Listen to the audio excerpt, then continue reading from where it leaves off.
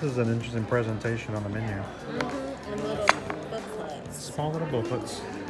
You have your tapas, your small plates, beverages, and the rest of the food. We've kind of decided that tonight that we were going to really stay in the tapas range, Yeah. region, and try a lot of the small food as much as So, possible.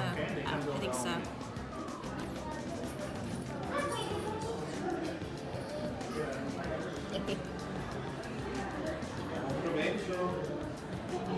So the views from the 16th story floor here at Toledo, pretty expansive. You can see quite far. This side I'm looking at now, you can see Hollywood Studios. You're able to see Galaxy's Edge and Batuu. I think just a little bit of Slinky Dog, possibly. Rock and Roller Coaster and Tower of Terror.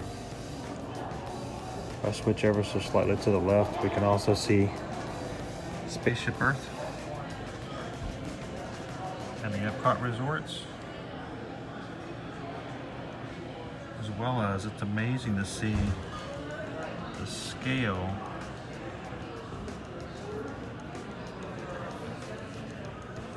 of the Guardians of the Galaxy ride beside and just to the right, Spaceship Earth.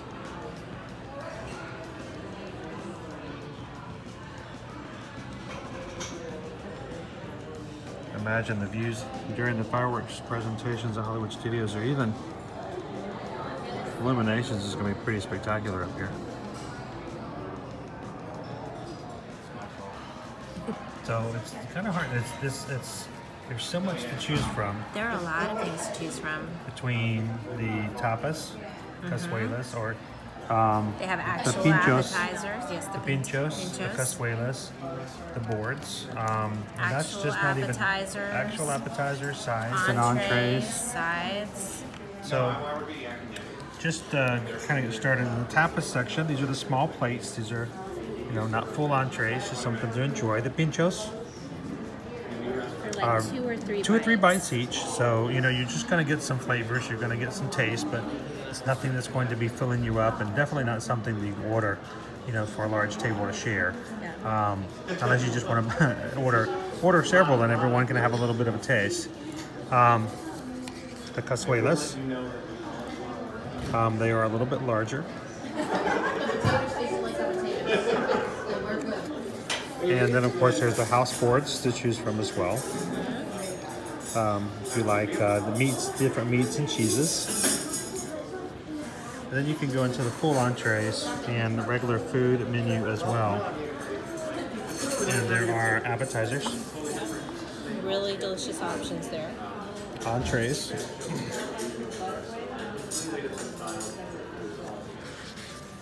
and some sides to go along with the entrees. The entrees do not come with sides. And the desserts. And as well, on the bottom here, you do have a drink menu.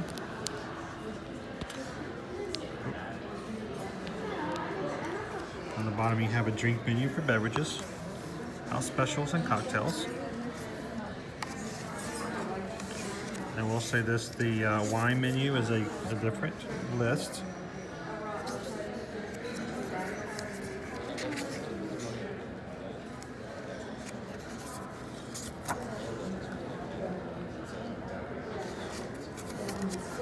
And of course, I do have fountain sodas as well. And a few uh, zero proof Got the tortilla cocktails. Right here for you. Yummy. Also, quite extensive uh, wine menu. You can get uh, either a five ounce, eight ounce, or a bottle, uh, depending on which of the which of the ones that you choose. How are you? Good. So I have your stuffed piquillo peppers. Okay.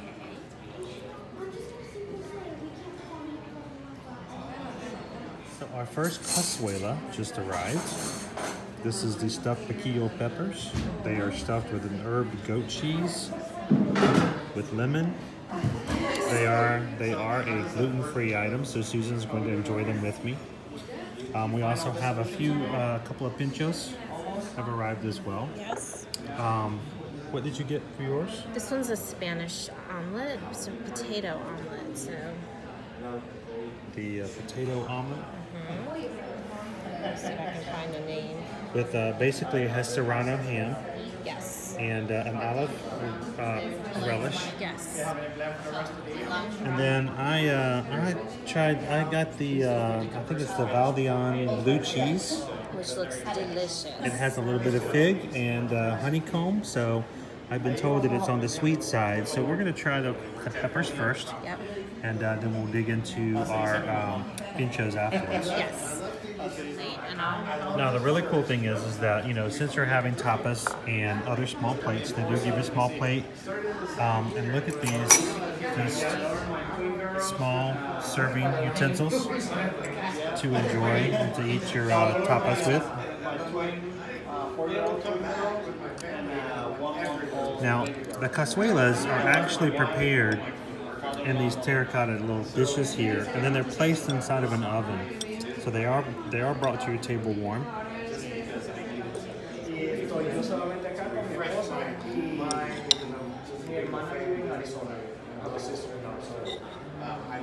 Beautiful presentation.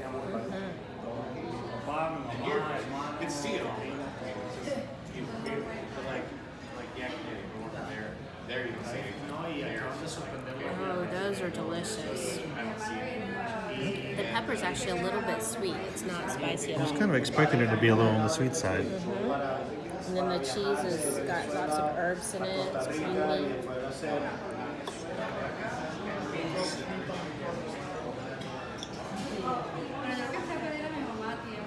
Oh my gosh. Isn't it delicious? It's got a little bit of heat, but oh, the flavors. Mm-hmm. Yeah, I'll take those, please. These are definitely worth trying, guys. Oh yeah, They're delicious. this is the uh, the stuffed peppers on the cazuelas. Mhm. It comes Oh, with man. three, three peppers. Tell you what, the uh, the herb goat cheese it's so that is amazing. It really is. How's it hesitant? Because you know sometimes goat cheeses for me are This is actually really creamy. It's Yes. almost melted, which I don't think I've ever had goat cheese that was melted before. So it- it's good. oh flavors are awesome. So we've already started off with a, a real winner here.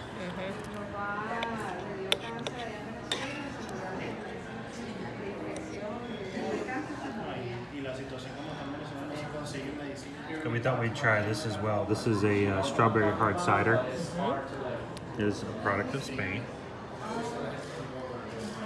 It is delicious. Take a little. Make, make sure I can concur on that. It's sweet, sweeter than most.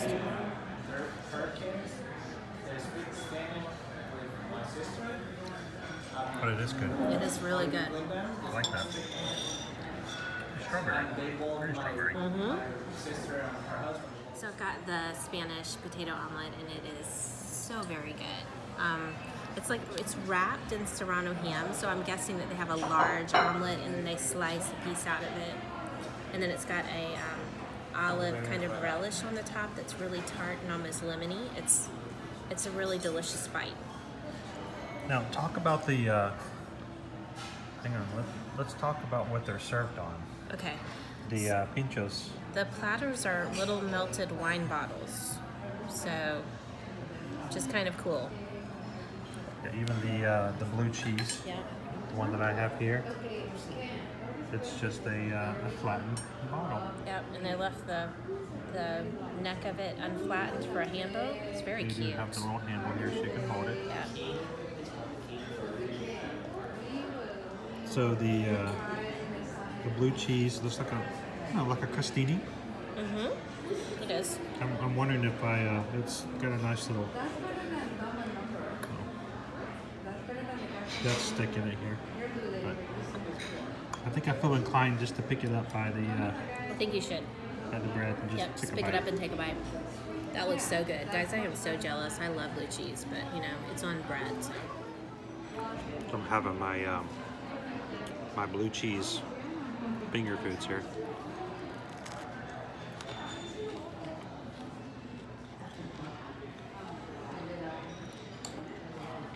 And the cheese, sweetness of the fig, good texture of the uh, The bread underneath.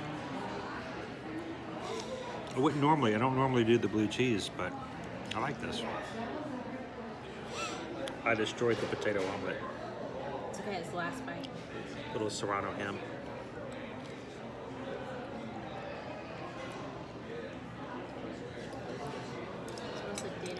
Potato. I have to say, yeah, it's mostly potato. It's good.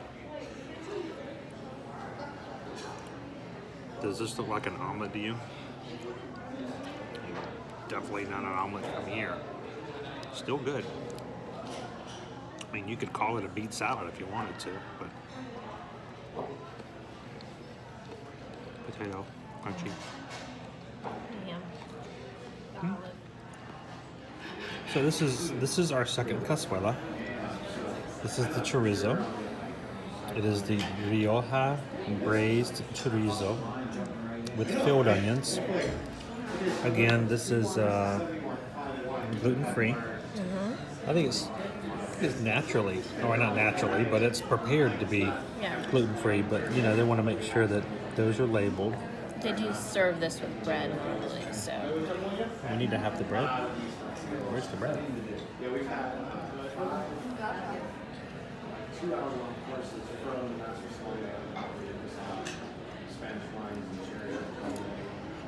Very flavorful sausages. Ooh, a kick. Ooh, a little kick. Got a little kick in there.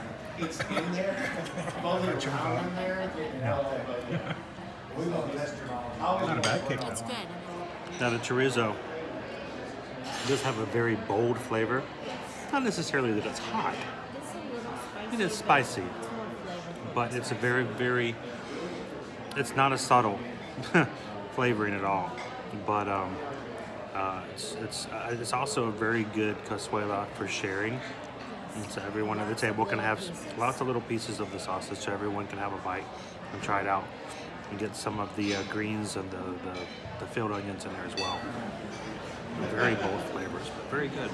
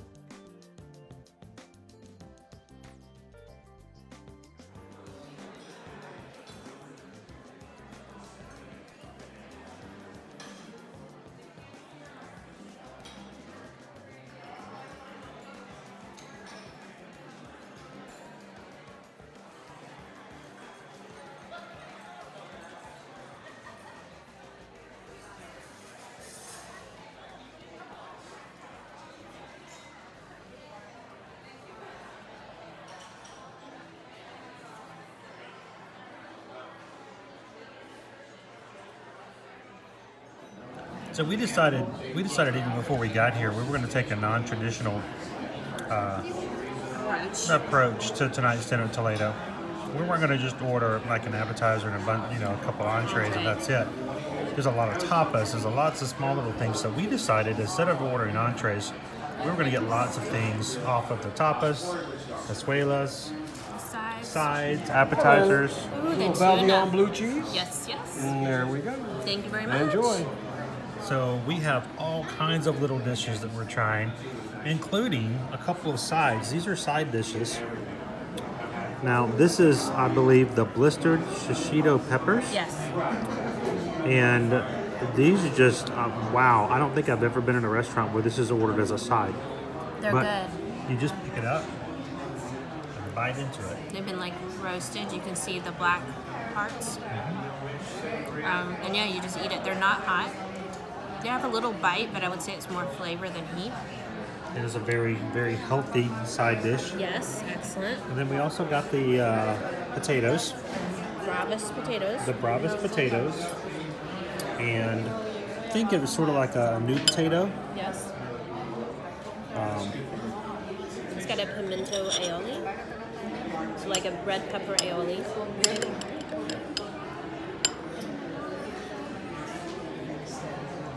I definitely wanted to try a few of the sides. A little bit of the aioli on there as well.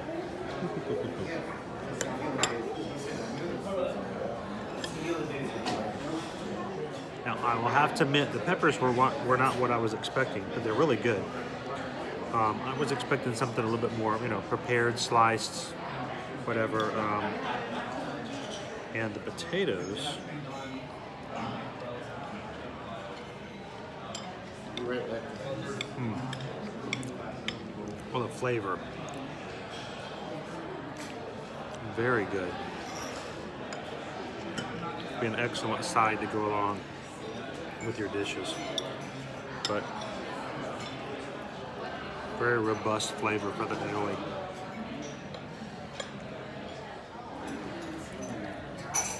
Oh, those are good.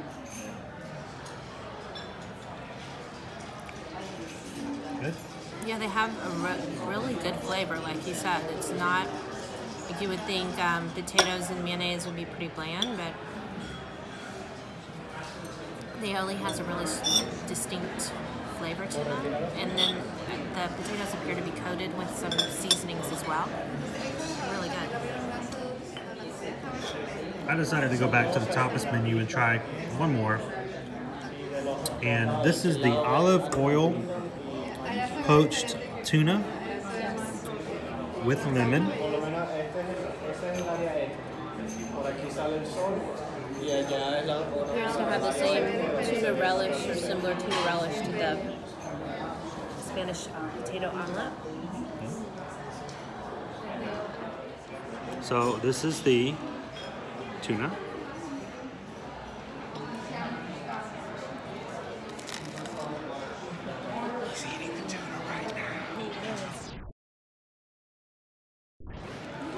Very citrusy.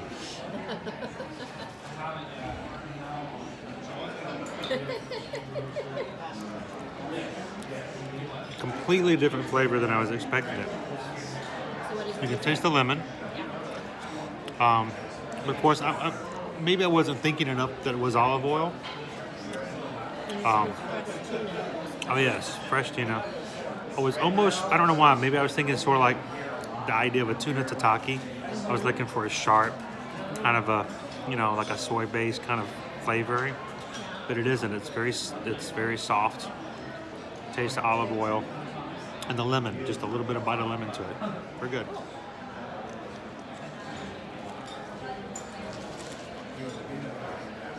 Juicy. So is it good? Do you enjoy it? Oh yeah, it's I good. Wanted to, I wanted to go outside of my normal. Okay. All the other food has been so good. I'm thinking maybe I should give something I wouldn't normally try a chance. So this is the heirloom tomatoes appetizer. Yep.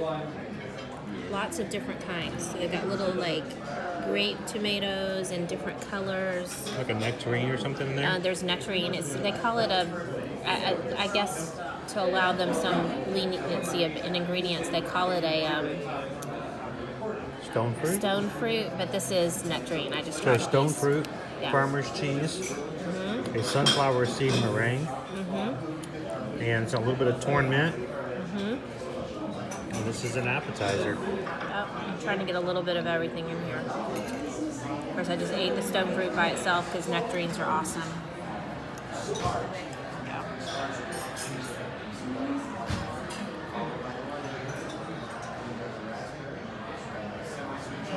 That's good. Now, my concern about this is this is I wouldn't think of this as an appetizer. Lots of times you think of appetizers as something that shareable. This is But more like a salad to me. Yeah, it's not so much I would think is shareable app. I mean, it could be shared. It's not that. A lot of times salads are in the app. area. And one of the other appetizers is a romaine salad. We've discussed Yeah, that, that as an true. option. One of the other apps is a romaine salad, Yeah. so this is sort of an idea What of this that is. as well. You wouldn't exactly, you know, pass around and remain silent. That's good.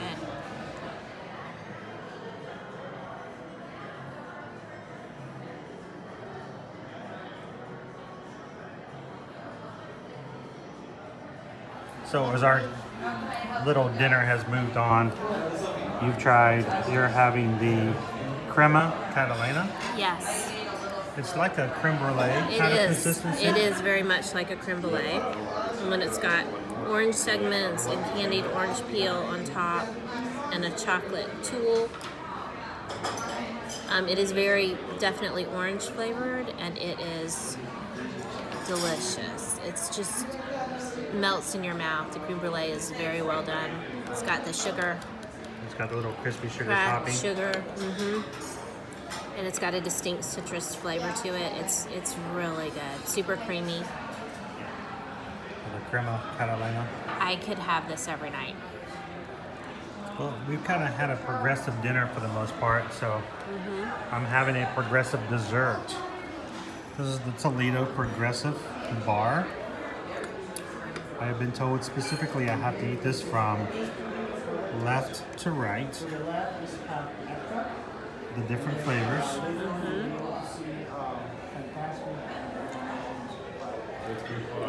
So it's a little tour, culinary dessert tour. So. All right, so I believe the chocolate bar is pretty much consistently the same all throughout. It's just the toppings on top. Yes, that's correct. All right. Oh, it's got a little bit of a crunch to it. Ah, there we go. So, a little layers under the chocolate.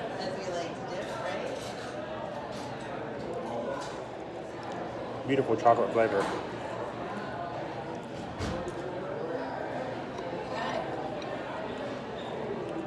Very crunch, got a little crunch to it. Moving on in progression. Now I think we have a little bit of lemon.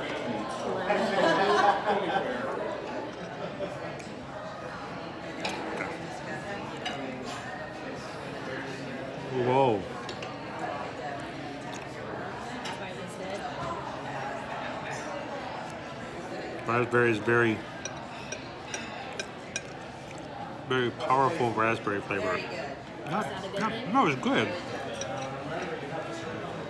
It's just not nearly as subtle as like the, the lemon.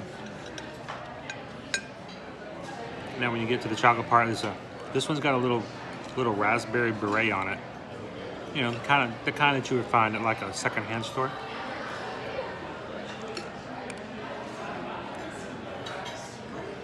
Oh, fresh raspberry. Very tart, but so good. Oh yes.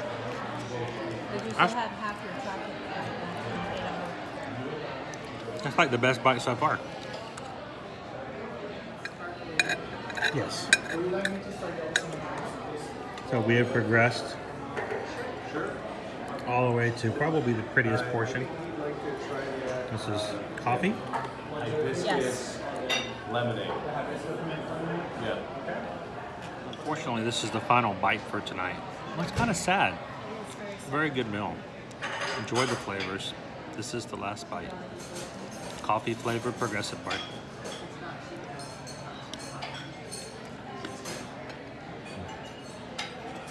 Ooh.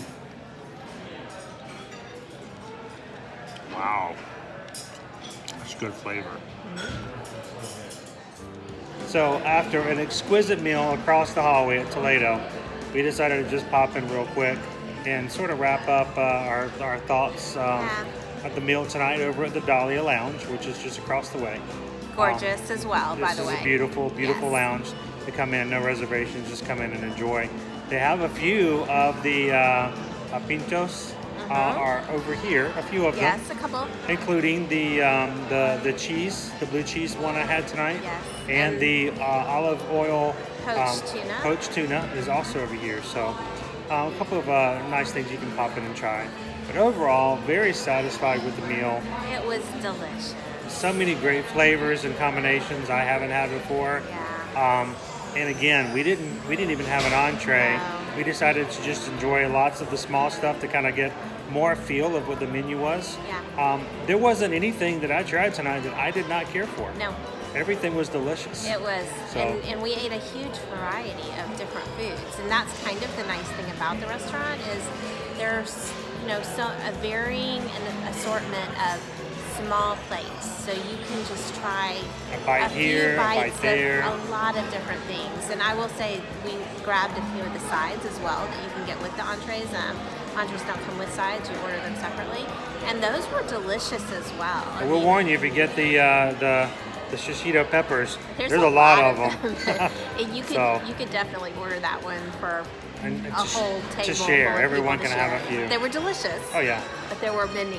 So between, um, I have to say the first thing that we had was the the stuffed peppers. yes. Um, uh, the um, that was that was amazingly. so yummy. Oh, it was so good. I, It was a I had to to, stop myself from licking the platter they came on. I didn't stop. I just did it. I didn't care. Um, but those those were just uh, amazing. Yes. The chorizo was good. Chorizo was very Um, good. the heirloom tomatoes was something that I normally probably wouldn't order. It was a great flavor. Yes. Um, and uh, I think uh, what was some of the other things that what was, what was a highlight? What was your favorite thing in the entire meal? I would say probably dessert. Really? Yeah, of all the things that I had, um, it was. Uh, So the crema catalana. Yes, it was a creme Okay. brulee, and it was like citrus flavored, and it was just a perfectly prepared creme brulee. And I've never had a citrus flavored one before, so that was just a really interesting take on it. I really enjoyed it. And I, I close second would be those peppers that Chris Oh, the peppers for me was probably the best. I tried. Great to, way to start I the meal. I tried to get the recipe, and I, that was a no go. But I'm No. going to try again the next time we come because I think I'll get a yes eventually. So the next time you come over here to uh, Disney's Coronado Springs, you can try out uh, and come into the new Gran Destino. Reservations are going to be required at Toledo. Yes. Um, the Dahlia Lounge, just come in and enjoy. Great come, views. serve. I would recommend coming right around right before sunset, so you can enjoy the different uh, colors as the sun sets. Um, and also, if you stay a little bit later, across the horizon, you can check out Fireworks. illuminations, the Star Wars fireworks, Yes. and uh, even see um, probably across the way eventually. Hey, pretty soon it's going to be happily ever after. So Yes. great views up here as well. For sure. Yep. So you guys, I uh, hope you guys enjoyed uh, us uh, coming through and checking out Toledo. And uh, if you have any questions or comments about the food, make sure to put them down into the comments. We'd love to hear from you Please. guys. Down there, And uh, make sure if you haven't already, we need you to subscribe to our YouTube channel. please. So there's going to be a little circle right there. You need to punch that button, subscribe, hit that bell notification. Thanks so much for following, guys. Thank you for all that you do to support us at Ear to Ear Magic. We're so glad we can bring you all the things we do all the immense amount of activities that are available in Walt Disney World. Thanks so much. We'll see you guys later.